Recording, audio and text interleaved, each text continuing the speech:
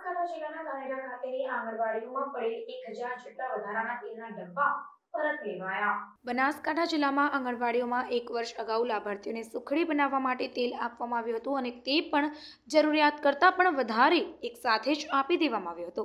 અને ત્યાર પછી બે મહિનામાં જ આ યોજના બંધ કરી દેવામાં આવતા.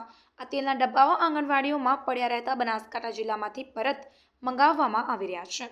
અને જેના કારણે આ ડબ્બાઓ પરત લાવવાનો ભાર પણ આંગણવાડી કાર્યકરો ઉપર નાખવામાં આવી રહ્યો હોવાનું આંગણવાડી કાર્યકરો દ્વારા જણાવવામાં આવ્યું હતું.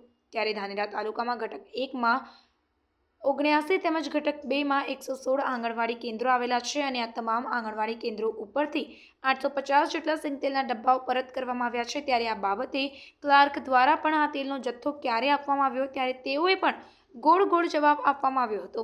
ત્યારે ઘટક બેના સીડીપીઓ દ્વારા બાબતે વિગતવાર માહિતી આપવામાં આવી હતી.